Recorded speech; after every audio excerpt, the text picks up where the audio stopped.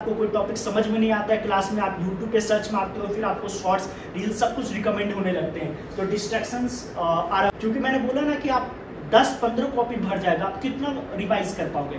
तो रिवीजन का best tool है कि फॉर्मूला सीट बनाए, उसको जहाँ भी चलते जा रहे हैं, पढ़ लिया ऑटो में बैठे हुए पढ़ लिया, खाना खा रहे हैं इलेवंथ में जाते हैं तो एक तो सिलेबस बहुत बड़ा हो जाता है, और जो टेस्ट का पैटर्न होता है, हमें बिल्कुल भी पता नहीं होता है कि क्वेश्चन क्या आएगा। अगर आप न्यू हो तो मैं आपको बता दूँ कि जे एडवांस में तो कोई भी क्वेश्चन आपको देखा हुआ बिल्कुल भी नहीं मिलेगा। तो ये आपके लिए सिलेबस पूरा समझ सो हेलो एवरीवन तो मेरा नाम है मृत्युंजय और आज हम बात करेंगे कि अगर आप टेंथ में हो और आप अलेवंथ में मूव कर रहे हो तो आपके लिए कौन से डूस और कौन से डॉन्ट होंगे? तो जो भी बच्चे अभी टेंथ में हैं और अलेवंथ में स्टार्ट करना चाह रहे हैं तो सबसे पहले तो मैं ये बता दूँ कि आपको जज नहीं करना based on your past actions तो इसमें से कई बच्चे ऐसे भी होंगे जिनके बोर्ड में 95 परसेंट आया होगा 98 परसेंट आया होगा तो उन्हें ऐसा लग रहा होगा कि अलेवंथ क्यों उतना आसान होगा। कुछ बच्चे ऐसे भी हो सकते हैं जिनका टेंथ बोर्ड खराब गया होगा और वो ये सोच रहे होंगे कि मेरा अलेवंथ भी खराब जाएगा। और उस बेसिस पे वो मैथ्स बायो में भी बहुत ज़्यादा कंफ्यूज रहते हैं। तो मेरा सबसे पहला यही है कि आपको जज नहीं करना है। हो सकता आप स्कूल के टॉपर रहे हो हो सकता आप स्कूल के टॉपर नहीं रहे हो। जो अलेवंथ है वो बिल्कुल एक फ्रेश स्टार्ट होगा आपके लिए। तो सबसे पहले तो आपको माइंड में ये रखना है। दूसरा ये है कि टेंथ के जो मार्क्स होते थे, उसमें जो हमारा बोर्ड एग्ज़ाम होता था प्री बोर्ड एग्ज़ाम होता था, उसमें हमारे 90 परसेंट आते थे 95 परसेंट आते थे 93 परसेंट आते थे।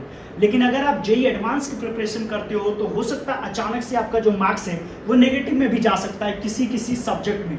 तो आपको ये मेंटली प्रिपेयर रहना पड़ेगा कि मार्क्स जो अलेवंथ में आएगा, वो ड्रास्टिक चेंज होगा and it depend on the tenth के मार्क्स तो सबसे पहली बात ये है कि हो सकता है कि कोचिंग वगैरह में अगर आप इन्वॉल्व होते हो तो आपके मार्क्स नेगेटिव में भी जा सकते हैं।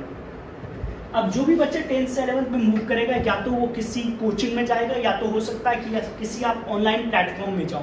और दोनों ही मोड में अगर आप ऑनलाइन भी पढ़ रहे हो तो आपको नोट्स बनाना बहुत ज़रूरी है। अगर आप क्लासरूम में भी पढ़ रहे हो तो उसका जो मोस्ट इंपॉर्टेंट थिंग होता है दैट इज़ नोट्स तो आपको नोट्स बहुत ही अच्छे तरीके से बनाना होता है और उसमें जो सबसे इंपॉर्टेंट चीज़ होता है कि आपको अटैम्प्ट करना होता है। अटेम्प्ट करने के क्या फ़ायदा हो सकता है कि अगर हम नोट्स को अटेम्प्ट करेंगे तो हमें अपनी गलती पता चल जाएगी कि यहाँ पे मैं गलत कर सकता हूँ। तो जो हम डीपीपी बनाएँगे तो जो डीपीपी 45 मिनट का होगा, वही डीपीपी हमसे 15 मिनट में बन जाएगा क्योंकि हमें पता होगी कि कहाँ पे गलती कर सकते हैं और हमारा तुरंत रेक्टिफिकेशन हो जाएगा।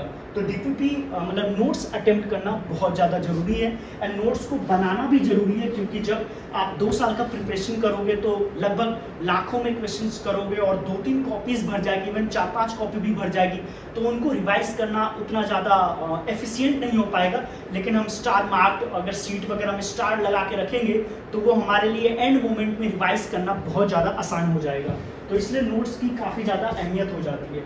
उसके बाद मैंने लिख रखा था कि सिलेबस का डिफरेंस बहुत ज़्यादा आ जाता है, क्योंकि टेंथ में तो मतलब वन नाइट स्टडी से ही काम चल जाता है। मतलब गिने चुने टॉपिक्स होते हैं और गिने चुने क्वेश्चंस होते हैं, वही रिपीटेटिव क्वेश्चन बार बार आते हैं। लेकिन जब हम अलेवंथ में जाते हैं तो एक तो सिलेबस बहुत बड़ा हो जाता है और जो टेस्ट का पैटर्न होता है, हमें बिल्कुल भी पता नहीं होता है कि क्वेश्चन क्या आएगा। अगर आप न्यू हो तो मैं आपको बता दूँ कि जे एडवांस में तो कोई भी क्वेश्चन आपको देखा हुआ बिल्कुल भी नहीं मिलेगा। तो ये आपके लिए सिलेबस पूरा समंदर की तरह हो जाएगा, जिसमें आपको बिल्कुल भी पता नहीं होगा कि क्या है। तो इट्स वेरी इंपॉर्टेंट कि आपको मेंटली प्रिपेयर रहना है कि जो हमारा सिलेबस है, वो बहुत ज़्यादा चेंज होने वाला है। उसके बाद जो टेंथ तक की जो पढ़ाई होती थी, उसमें ये होता था कि जो सर ने लिखवाया, जो मार्क कराया और हमने वो पढ़ा और उससे हमारा पूरा का पूरा रेक्टाफिकेशन पे बेस्ड होता था। लेकिन जो एलेवंथ है, वो पूरा का पूरा आई बेस्ड होगा, आपको कॉन्सेप्ट सिखा दिया जाएगा, लेकिन उसको अप्लाई करना कैसे है, वो आपको खुद का आईक्यू लगा के करना पड़ेगा।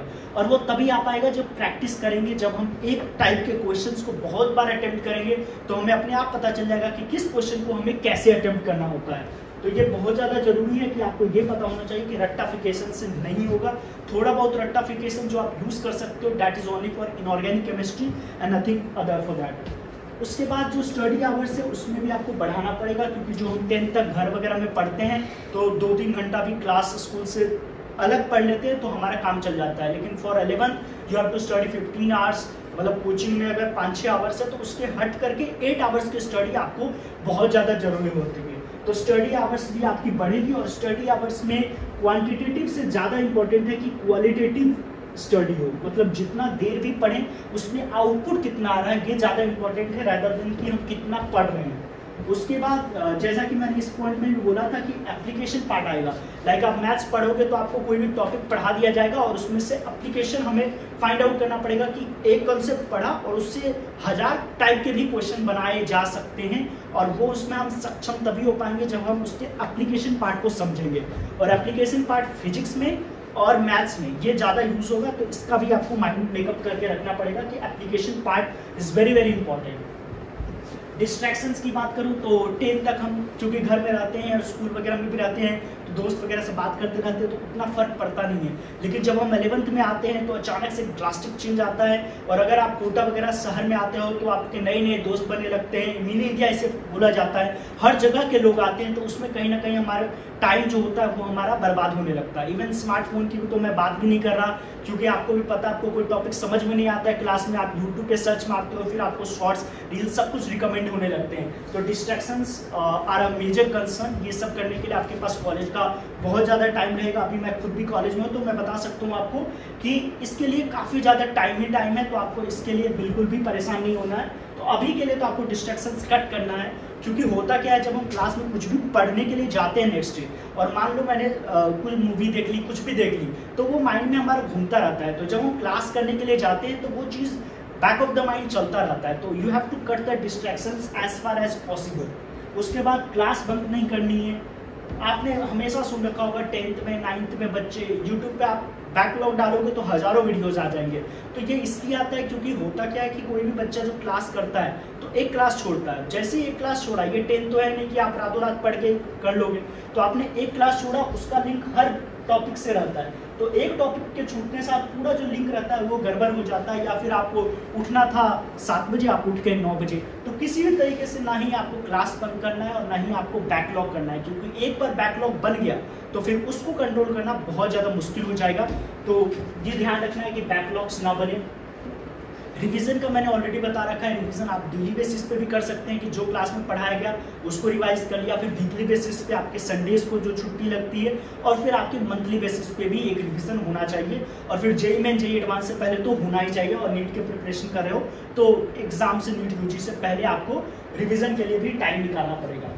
टेस्ट का एनालिसिस टेस्ट हर कोई देता है, ठीक है? अगर दस लाख बच्चे हैं, पंद्रह लाख बच्चे हैं तो टेस्ट हर कोई देता है, लेकिन only two percent three percent people are there who analyse the test paper और जो टेस्ट पेपर हमें ही सिखाता है, क्योंकि हमें जो आता है, वो हमें हमें क्या नहीं आता है, ये हमें टेस्ट पेपर से ही पता चलता है। और अगर हमें ये पता चल जाए कि हमें क्या नहीं आता है, तभी तो हमें पता चलेगा कि क्या हमें और सीखना है। तो test paper are the tools और अगर आप कोचिंग वगैरह पढ़ते हो तो आपके पार्ट टेस्ट होंगे, वो काफ़ी आसान होते हैं, लेकिन वो ज़्यादा नहीं सिखा पाते। लेकिन जो क्यूमुलेटिव टेस्ट होते हैं, वो आपको ज़्यादा सिखाते हैं। और टेस्ट पेपर की तो बात आप दूर रहने तो आपका जो डीपीपी हो, वो भी टेस्ट पैटर्न पे बनाया जाता है। तो आप डीपीपी के थ्रू बहुत कुछ सीख सकते हैं। तो ये एनालाइज करना बहुत ज़रूरी होता है कि हमने गलती क्या करी। सिली मिस्टेक्स अवॉइड करना है, क्योंकि अगर अभी से आप सिली मिस्टेक वगैरह करना स्टार्ट कर दोगे तो जेई का जब एग्ज़ाम आएगा तो आप उसमें मतलब फिर उसको कंट्रोल करना बहुत मुश्किल हो जाएगा।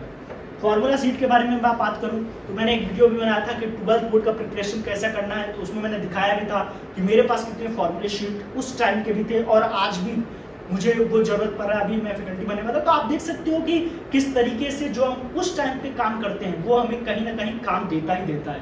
क्योंकि मैंने बोला ना कि आप दस पंद्रह कॉपी भर जाएगा, आप कितना रिवाइज कर पाओगे?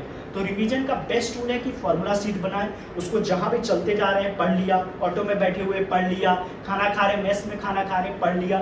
तो फॉर्मूला सीट आर वो एक तरीके से आईना होता है पूरा का पूरा चैप्टर का, कि उसको दस मिनट के अंदर, पाँच मिनट के अंदर हम पूरा का पूरा जो पाँच लेक्चर्स दस लेक्चर्स का जो लेक्चर होता है, उसको हम रिवाइज करने का एक शॉर्ट ट्रिक होता है। बाकी होम सिकनेस ये उनके लिए है कि जो किसी दूसरे शहर में आएँगे, कोटा में जाएँगे, दिल्ली में जाएँगे, हैदराबाद में जाएँगे पढ़ने के लिए, ये होम अगर ऑनलाइन में हो, तब तो होम सिकनेस उतना आएगा नहीं आपको।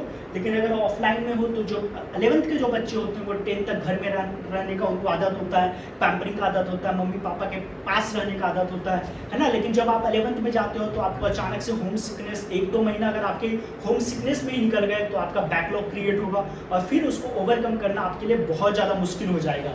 तो ये तो थे कुछ डूज एंड डॉन्ट तो आई होप कि जो बच्चे भी वीडियो देख रहे हैं, अब अप्रैल मंथ आ चुका है एंड आई होप कि आपने या तो किसी भी ऑनलाइन में आपने सोचा होगा कि ऑनलाइन प्लेटफॉर्म पे जाना है, या फिर आपने किसी भी कोचिंग में जाने का सोचा होगा। इस पर मैंने ऑलरेडी वीडियो बना रखा है कि ऑनलाइन लेना है या ऑफलाइन लेना है, उसको मैं अटैच कर दूँगा वो आप चूज़ कर सकते हो।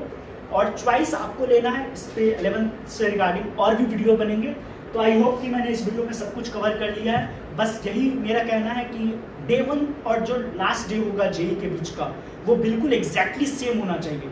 जो हमारा डे वन हो और जेई के पहले का जो लास्ट डे हो, वो अगर बराबर रहा, अगर कंसिस्टेंसी सेम रहा, अगर जो मैंने बताया अगर आप फॉलो करेंगे तो डेफिनेटली आपका जेई में अच्छा रैंक मिलेगा। तो अगर चैनल पे नए हो और अलेवंथ ट्वेल्थ और कॉलेज रिव्यूज़ से रिगार्डिंग आपको वीडियोस चाहिए तो चैनल पे अगर नए हो तो प्लीज़ सब्सक्राइब कर देना। Thank you